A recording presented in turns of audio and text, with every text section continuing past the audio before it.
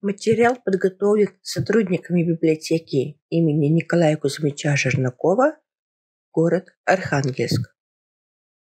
А вы знали, что 16 октября во Франции отмечается замечательный праздник – День чтения? Немного расскажем вам о четырех современных писателей, книги которые стали бестселлерами. Начнем с романтики. Аньес Мартин Люган. Ее дебютный роман «Счастливые люди пьют кофе и читают книги» вышел во Франции в 2013 году.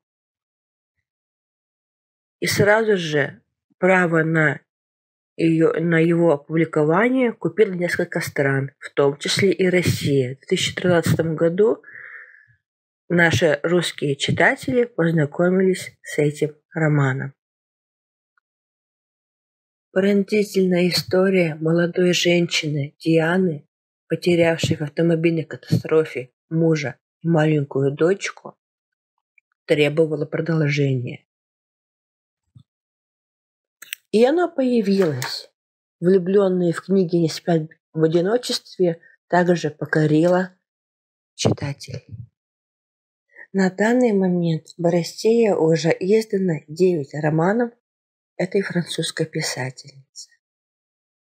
Отдельно хочется выделить ее один из последних романов «Отель Дача».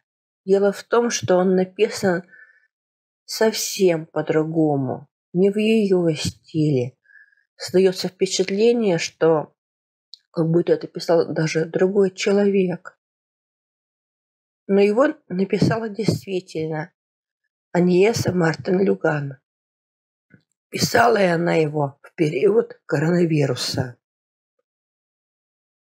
Мы рекомендуем вам читать книги по порядку, по мере выхода их в России друг за дружкой. Да, они разные, разные истории, разные герои – но если внимательно читать их строго по такому порядку, то вы увидите пересечение второстепенных героев. Вы встретите э, и узнаете судьбы тех девушек, которые, имена которых встречались в других произведениях. Рекомендую к прочтению.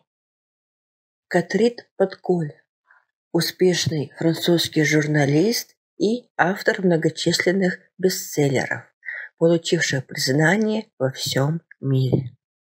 В нашей библиотеке есть завершающая часть цикла «Мучачас». Книга называется «Новое платье Леони».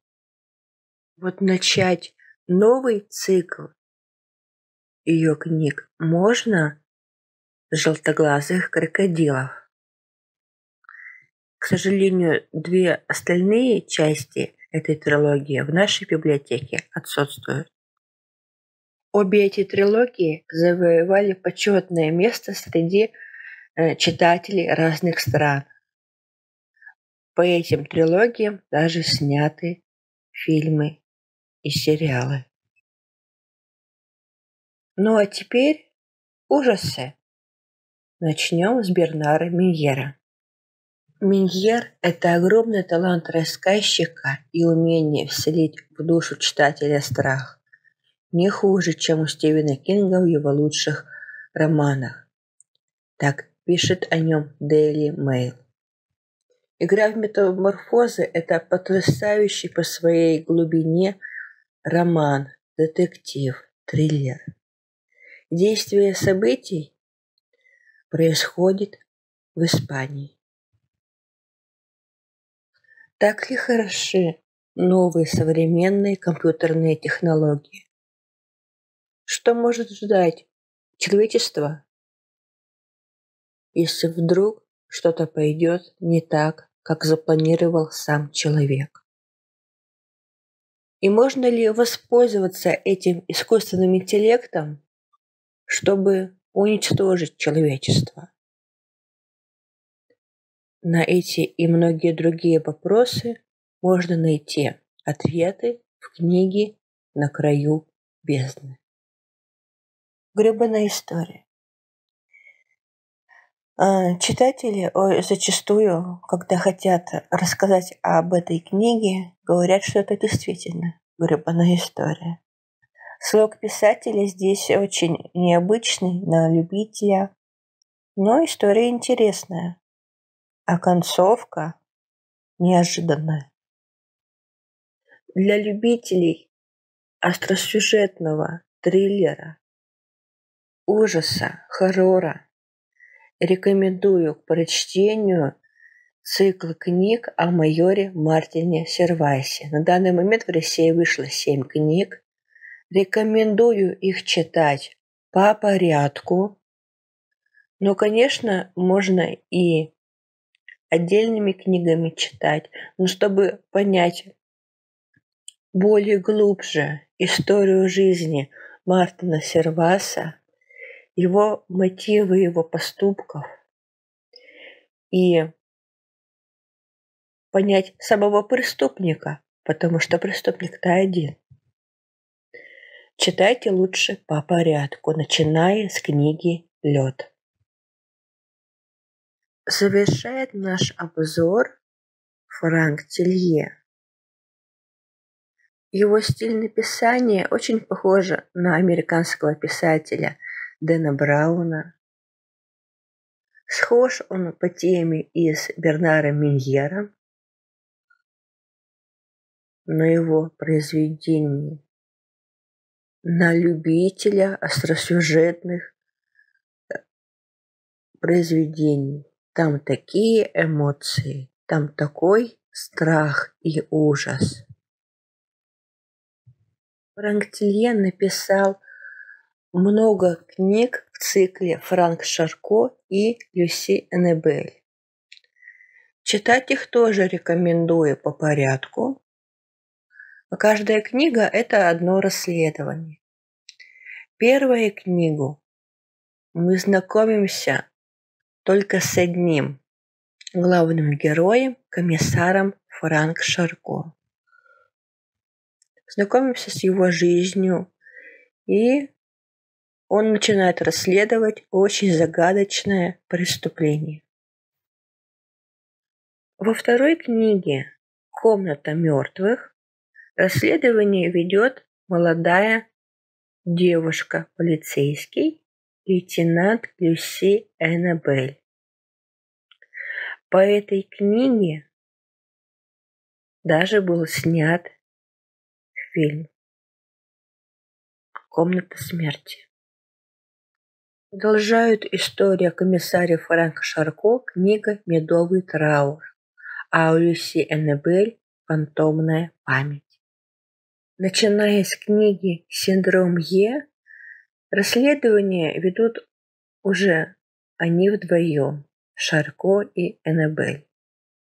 Историю их знакомств вы найдете в этих первых книгах. На данный момент в России вышло уже 11 книг этой серии Франк Шако и Люси Эннебель.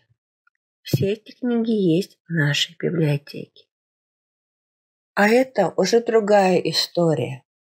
Как вы увидите по обложкам этих двух книг, эти книги связаны между собой. Там одна общая линия, там одни главные герои.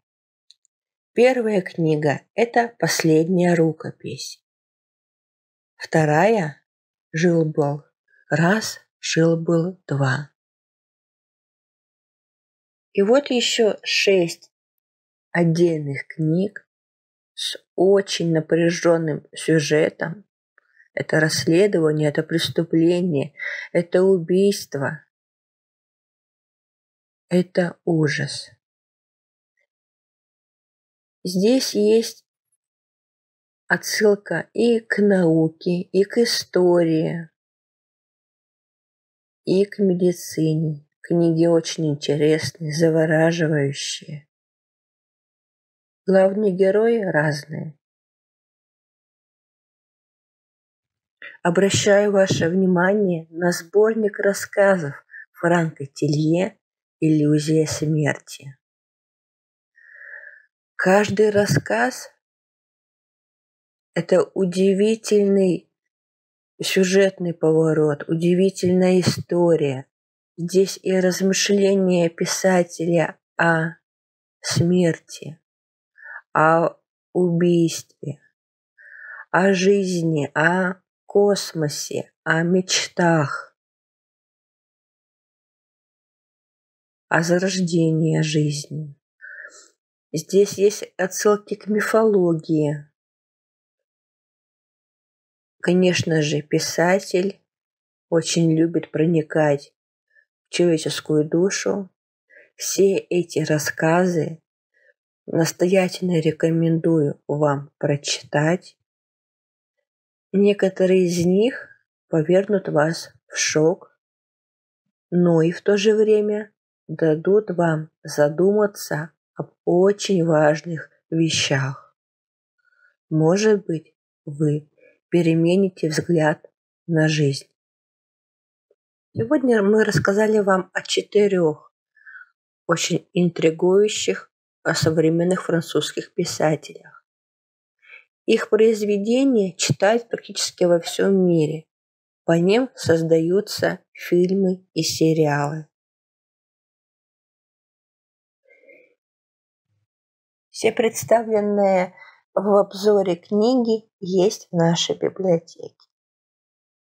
Французская литература очень разнообразна и очень интересна.